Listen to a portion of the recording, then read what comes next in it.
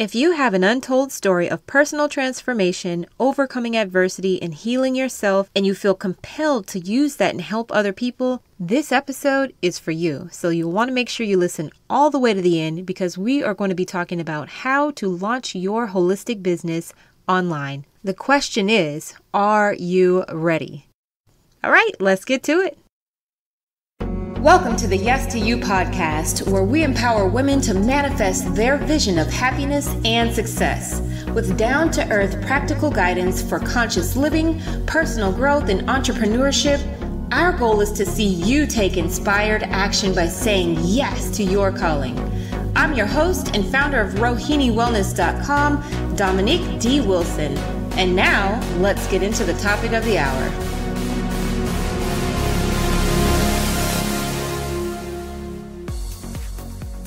Welcome back to the Yes to You podcast. Today is a very powerful show. As I mentioned before, we are going to be talking about five steps to launch your holistic business online.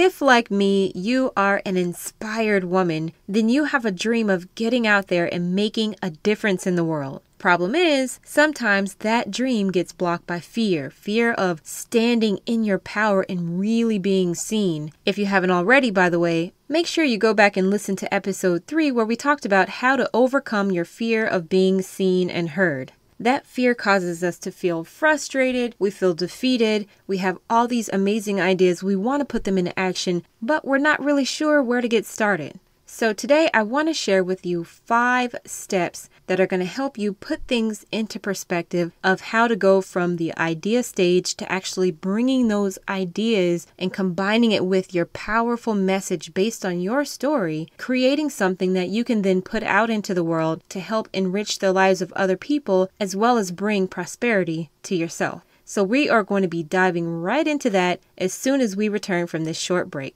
Body, body mind, mind, spirit, spirit. This is your weekly wellness tip. Today's wellness tip is on forgiveness. Forgiveness is an individual journey of learning to accept what is, learning to integrate all parts of our story so that we can move forward as a whole and complete expression of who we are, and stand on our story, the lessons, the wisdom, and the insight, and move forward in a way that is healing and empowering to ourselves and to others around us as well. Carrying around chronic anger and feelings of resentment puts you in a perpetual state of fight or flight, and this can affect your health big time. It can actually make changes in your heart rate, your blood pressure, even your immune response. But the good news is that you can take back control of your wellness by starting a practice of forgiveness work. And get this studies have actually shown that forgiveness reduces your risk of heart attack, it reduces cholesterol, improves your sleep, it can relieve pain, it lowers blood pressure, anxiety, depression, and stress. These are all amazing benefits of forgiveness, but the greatest one of all is being able to reclaim your personal freedom. So, today I want to share with you four things that you can do to start cultivating a practice of forgiveness work. The first thing is to begin with a self evaluation. I do think it's important to look at the experiences that you're having difficulty moving beyond, see them with new eyes, to be objective, withhold any judgment, and just observe how they made you feel, but most importantly, how they are still impacting you to this day. These are very important questions because once you have awareness of how this situation is still impacting you, you'll have the motivation to power through the forgiveness practice because I'll be honest with you, it's not always the easiest thing to do.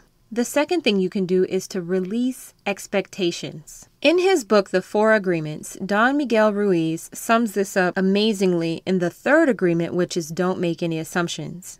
He talks about how when we get into relationship with someone we like, the mind has this need to justify why it is that we like the person. And I quote, You only see what you want to see, and you deny that there are things that you don't like about that person. You lie to yourself just to make yourself right. Then you make assumptions, and one of the assumptions is, my love will change this person, but this is not true.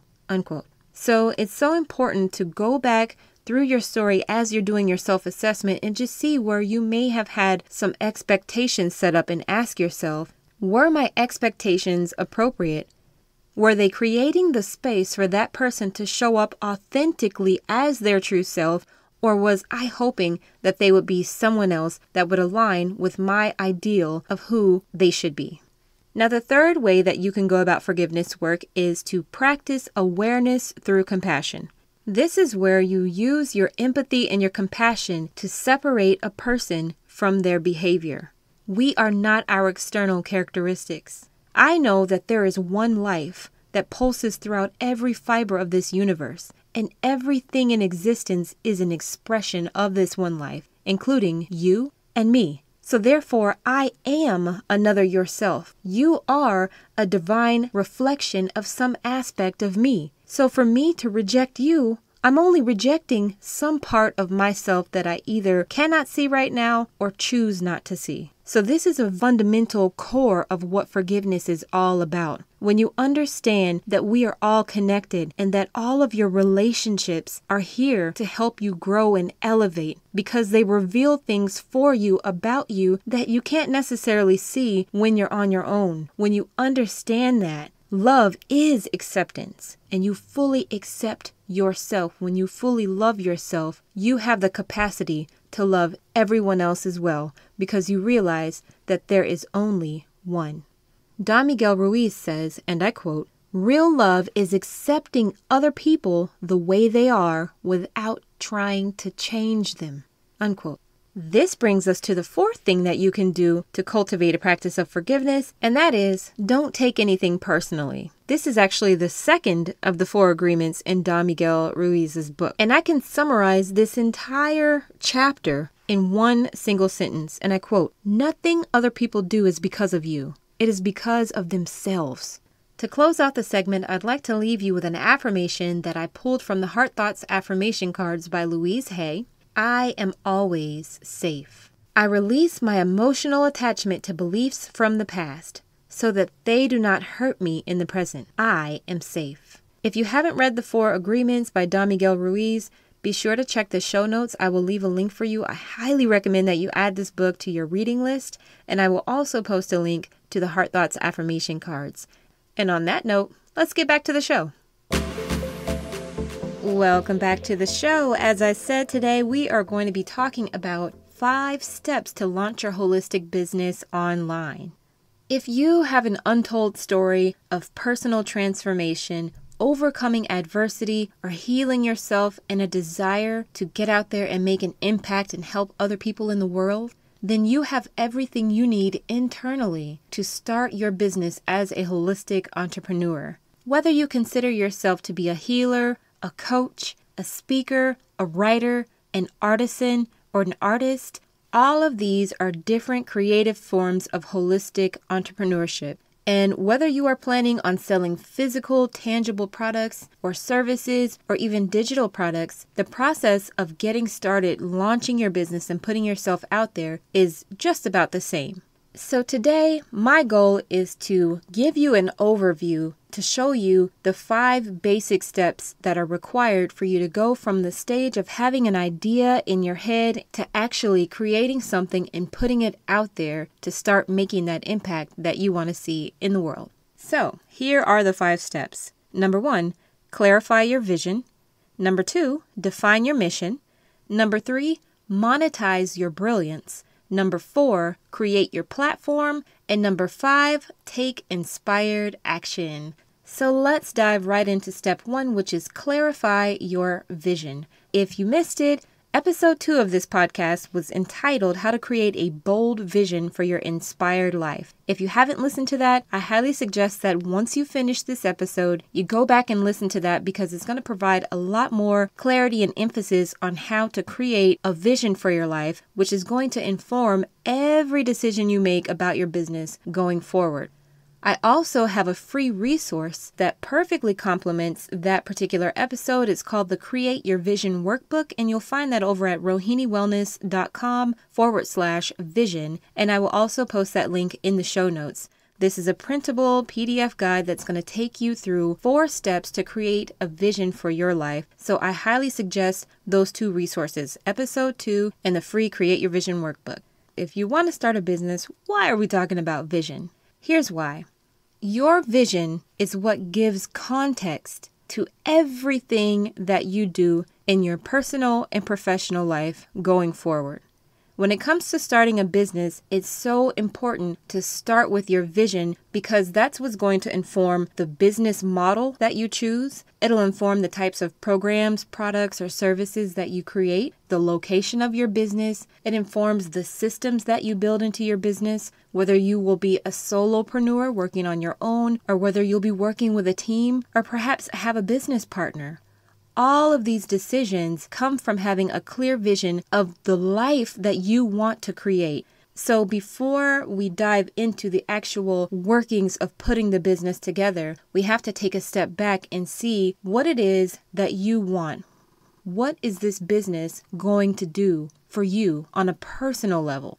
So, when you're creating your vision, you want to look at your lifestyle, your health, your finances, career, your money, your relationships, your social and community impact, all of these areas are going to be affected and are going to play a very key role in your life as an entrepreneur. So it's very important that when you are planning on building a business that that business is in alignment with what you actually want because the last thing you want to do is to create something that's going to be a second job for you or that's going to feel like work. So, what's your vision? Do you want your business to create freedom in your finances? Do you want freedom of your time? Freedom of location?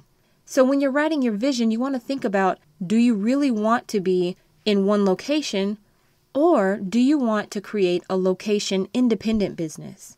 It doesn't mean that you can't sell your products. It just means that you change the way in which you disseminate those products so that you are free to move about as you choose. This is just one example of why having a vision is so important. Literally, every decision you make about your business is going to boil down to the vision for what you want to create in terms of your lifestyle. So I invite you to have a lot of fun in this process of visioning. Take advantage of the Create Your Vision workbook. Again, when you get a chance, make sure you check the show notes because I'll include all of this information there. So don't worry if you're on the go. So now let's move on to step two, which is define your mission. I want to share a quote with you really quick. It's from the book Start with Why, written by Simon Sinek. This is another powerful book to add to your reading list, especially if you are planning on launching a business. In the book, he says, Achievement comes when you pursue and attain what you want. Success comes when you are clear in pursuit of why you want it. The former is motivated by tangible factors, while the latter is something deeper in the brain where we lack the capacity to put those feelings into words. When you know why you're moving forward into something, it's going to give you the motivation to power through the tough times because I'll be honest with you, there will be times when you are frustrated. It gets hard. You may not have all the answers you need right away. And the one thing that's going to keep you going no matter what is knowing your why. Your mission accounts for all the steps that you are going to take in order to bring your vision into full manifestation. So now that you've clarified your vision, in order to define the actual mission, we have to start getting clear on what your values are. So we want to look at your top three to five core values. Now, there's an excellent free resource available online. It'll take you about 30 minutes. It's an assessment called the Value Determination Process by Dr. John Demartini. He's a world renowned polymath, speaker, author, teacher, an absolute brilliant soul. Now, this may sound like a really dry activity, but I assure you, it will literally change the whole way that you look at life from this point going forward. When you know what your core values are, it makes it easier for you to say yes to the things that are in alignment with your purpose and to say no to the things that aren't.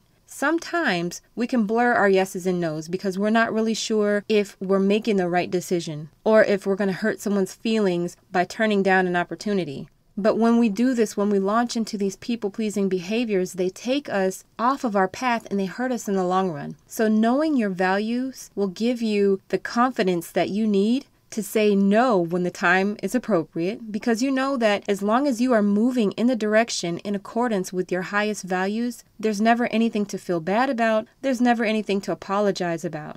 So definitely make sure you check out Dr. John Demartini's value determination process. I will leave a link to that in the show notes for you. Once you know your values, you then want to look at your character strengths. Your strengths are aspects of your personality that inform the way that you show up on a day to day basis. Your strengths impact the way that you interact with other people, what type of work ethic you have, the way you think about the world and perceive things. This is going to help you to know which things in your business are you going to be best at doing on your own and which things do you need to delegate. You can't do everything on your own all the time. So it's so important to be able to clearly delineate between what you're really strong at and the things that would be best to delegate to someone else. So knowing your character strengths is going to be instrumental in this process. And I have another freebie for you. This is an evidence based assessment you can take online completely free that will actually reveal what your character strengths are and give you a very clear picture of where you really shine and where you need to do a little more work and delegate some things out so that you can move forward as a powerhouse.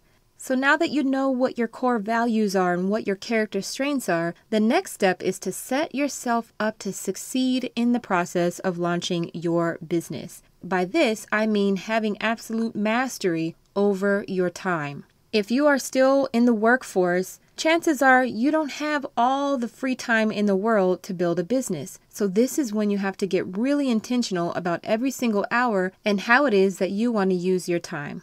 The first thing I recommend is to write down your current schedule. Monday through Sunday, what does every day currently look like? It doesn't have to be exact, but try to account for what your current life looks like so that you can get a clear picture of where there's opportunities to start building in time to build your business. Perhaps you have two, three, four hours at the end of the day after your shift or in the daytime before you go into work. Maybe you have some time that you can use on the weekends. I want you to account for every single hour and just see how much time are you actually working? How much time do you currently spend on leisure? This is going to help you to be really clear about how much time you actually have. You would be surprised at how much time you can reclaim by simply being intentional about it. So, once you've accounted for all your time and how it's currently being used, the next thing you want to do is to create a daily schedule for yourself and start sticking to it. If you're serious about building this business, you have to be serious about owning your time and directing it to the things that are actually going to move you forward. Then, once you have your daily schedule set up, the next step would be to create a morning routine for self care. It is so important that those first few hours when you wake up each day that you have your mind set on what it is that you intend to feel, experience and achieve for that day. Now, your morning routine doesn't have to be complicated. It can be as simple as saying, you know what, I'm going to wake up an hour earlier each day to make sure that I take a little bit of time to meditate and do some journaling. And then I'm going to do my self care practices, maybe exercise, take a spiritual bath, whatever that is for you. And then you want to make sure that you make a little to do list for yourself. I would highly suggest that you limit your to do list to no more than three items. You want to pick the three most important items that must get done for that day and write those three things down. And finally, set an intention for what it is that you want to feel, experience, or achieve that day. So, there you have it. Those are the components of defining your mission. Making sure that you know what your core values are, know what your character's strengths are, and set yourself up to succeed by putting yourself on a daily schedule with a morning routine that you carry out every single day. Step number three is to monetize your brilliance. And of course, the very first phase of monetization is to come up with an annual income goal. This number is going to inform the way that you create programs, products, services, the way that you price your programs, products, and services, the frequency that you'll be needing to sell, all of that information is going to come out of your income goal. Now that you have an income goal, you know how much money that you'd like to make. This is when it's time to really hone in on what I call your zone of brilliance, or in other words, your niche. This is where three things collide. Number one, your passion. Number two, your skills and expertise. And number three, the marketplace or the demand for your programs, products, and services. When you're thinking about your passion, think about what it is that you could do or talk about all day and never tire of that never feels like work. Write down what it is that you're passionate about. The next thing, your skills and expertise. This can be a mix between formal education, possibly certifications that you have, and informal education from life school, the school of hard knocks. Life experience provides you with so much wisdom and insight that is absolutely priceless. You would be surprised at what people are willing to pay you for what you know, just based on going through different things, overcoming challenges, adversity, and finding solutions that you can then share with someone else. So, once you've written all these things down, then you want to start looking for the areas in which they overlap. This will be your zone of brilliance, your niche. In other words, this is the central theme around which you are going to build all of your programs, your products, and your services. Now, to add on to the zone of brilliance, the next thing you want to look at is who your ideal client, customer, or audience member is. I wouldn't recommend going too crazy with all the demographics. However, you do want to have a general idea of what is this person struggling with? What are their fears, their hopes, their dreams, their biggest concerns? How can you help them to solve their problem or to address those concerns? Are they male, female, younger, older? What are some of the things they like to do? Where do they hang out? Do they like to spend their time on Facebook? Do they attend local business conferences or wellness events? Get a general ballpark idea of who this person is. And what you want to do is really combine a little bit of imagination with what you already know about who you used to be before you solved your own problem. This is what's really going to inform your ideal client avatar or persona as you're writing this information down. Even if you've never worked with a client before, you can still come up with an idea of who you'd like to work with. And one last thing to keep in mind as you're thinking about defining the characteristics of your ideal client is this someone who you would actually enjoy spending time around outside of what it is that you do? Would you have them over for coffee? Do you enjoy their company? This is how you'll know that you are an energetic match for the people who you are intending to attract to connect with your programs, products, and services.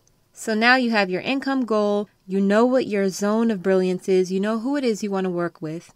It's time to think about some programs, products, and services that would best meet the needs of your ideal client. Are you going to be selling physical, tangible products that need to be shipped out to people? Are you offering services that are performed in person, over the phone, or virtually? Perhaps freelance services such as virtual assistants.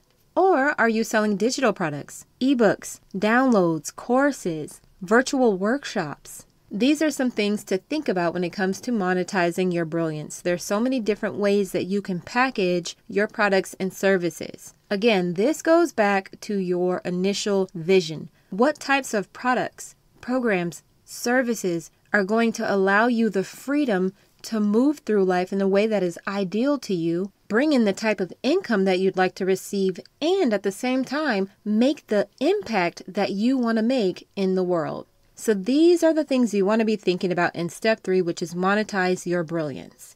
Now, let's move on to step four, which is to create your platform. Your platform is like a stage that you stand upon, it's how you enable yourself to actually be seen. It doesn't matter what kind of business you're running, everyone needs a website. And nowadays, even if you're not that tech savvy, there are so many options available on the market for you to have a pretty professional looking website up and running in no time, such as Wix, WordPress. These are just some things that you can start thinking about. I will leave some information and some links in the show notes to sites where you can actually go to get a website set up relatively quickly. With that said, I want to make a very important point here. When it comes to your business, I absolutely do not recommend starting out with a free website, and here's why. Free websites, in my opinion, simply aren't worth it. Number one, when you're on a free website, you don't really own that platform. So you don't want to build a business on something that you don't own and that you don't have control over. If ever the host of that free website decides to go out of business or make a change, they can easily shut down that website and you could lose all of the content that you've posted there. So there's a big danger in having a free website. Yes, it's convenient. It offers all these free, flexible options, but it comes at a very heavy cost. So you have to weigh the pros and cons and ask yourself is this something that I really want to get into? So it's good to be mindful about the image and the message that you send across. Anything that you put out into the world is a part of your brand. So if you want to have a strong brand where people trust you and are willing to invest in your services, you have to be willing to also invest in yourself. So I definitely recommend that you start by purchasing your own domain name. I like to use GoDaddy. I will leave a link in the description box for you. Once you've purchased a domain name, then you want to make sure you have website hosting. In other words, this is where your website and your content will actually live. Think of it as a giant plot of real estate on the internet. This is your hosting. I'm a big fan of Bluehost. I've been with them for many years. They offer 24 hour customer service. Anything you need assistance with, they're right there to help, especially if you're not tech savvy. This is a great option. So I will also post their information in the show notes for you. To sum this up, when you're creating your platform, make sure you establish your own website. Once you do have a website set up, there's a few essential things that you want to make sure you have going. You want to create an About page. Did you know that the About page, or About Us, or About Me, is the number one page visited on just about any website? And this has been statistically proven over and over again. People want to see the face behind the brand, so make sure that you create an About page add a little bit of information about yourself, post up one of your most recent photos, and let people actually see the face behind your brand. Another thing you want to make sure you have is a contact me page. Make sure that people have a way to get in contact with you. As wonderful as your services are and as beautiful as your website is, if people don't know how to get in contact with you, it doesn't serve its full purpose. And finally, you want to make sure that you have your services or your products page, or this might be a shopping cart page for you. This is where you are going to tell people exactly how they can work with you. And the final thing that you want to include anywhere on your website is a call to action. Make sure that on any given page of your website, as I'm scrolling through, you need to be informing me of what do you want me to do next. After I've visited your homepage, what next? So maybe there might be a button or a link that says, Work with me. Click here to book now, buy now, shop now, call me, something. Make sure that you have that call to action. So, those are just a few essential components for making sure that your website is set up properly. The other half of your platform is your social media presence. Social media includes things such as Facebook, Twitter, Pinterest. It also includes your email list. Going back to the exercise we did in Monetize Your Brilliance, where we talked about your ideal client, this is where this comes in handy. You want to have an idea of where your ideal clients hang out so that you can choose the right social media site to start marketing on. There are so many different options out there nowadays, and you don't need to be on every social media platform. So you want to choose one platform. If you're not really sure which platform to get started on, I would suggest either starting with Facebook or Instagram. With over 3 billion active daily users, there's a good chance that your ideal client is on one, if not both, of these platforms. It's a great place to start building your social media platform so that people can get to know you. Now, it's very important to keep in mind that social media is nothing more than a tool to drive people back to your website so that they can invest in your services. This is why it's so important to make sure that you have your own website so that once you start building relationships with people on social media, they have a place to go forward and connect with you on a long term basis. Now, if you are completely new to social media, you're just now getting started, and you want to understand how to establish your business on Facebook or Instagram, I do have an ebook available. It's called How to Get Your Business Started on Social Media. I will also include a link to that in the show notes. And that brings us to the fifth and final step when it comes to launching your holistic business online, which is to take inspired action. This is the stage where you literally take everything, all the components we've been talking about. This is when it's time to actually implement these things, create something, put it out there. So for you, it might be picking up the phone and calling a potential client. This could also look like creating a blog post or creating a social media post to start advertising your products and services. Whatever that step is for you, it's important, it matters, and it's going to move you forward in the direction of fulfilling your big vision of happiness and success. The Create Your Vision workbook, which I mentioned earlier, does have a section at the end called a 30 day jumpstart plan. This is a great template to use to actually take a goal and break it down into daily step by step actions. So, again, you can find the Create Your Vision workbook at rohiniwellness.com forward slash vision, and I will also link that in the show notes for you. So, to summarize, we talked about the five steps to launch your holistic business online, which were clarify your vision, define your mission, monetize your brilliance, create your platform, and take inspired action. All of the information that I've shared with you in today's episode is for your personal enrichment, and I certainly hope it's beneficial to you as you get started with your holistic business. But of course, it's just an overview. If you'd like to go deeper, I do offer a four week business mentorship program called Launch Already Five Steps to Launch Your Holistic Business Online. You can find out more about that at rohiniwellness.com forward slash biz mentor. I will also post that link in the show notes for you. If you have further questions or something that you would like me to expound upon, please send your questions to feedback at yes2youpodcast.com and I would be happy to discuss it further with you and potentially create another episode around that particular topic. Be sure to tune in again next Tuesday evening at 5 p.m. Central Standard Time for an all new episode that's all about blogging. We are going to be talking about not only how to launch and promote your blog, but how to stay consistent as a blogger and power through things like writer's block. So don't miss out on that. Tune in to episode 6, and until then, remember, you get to choose how you show up in life. Love yourself fiercely, own your story, and say yes to your calling.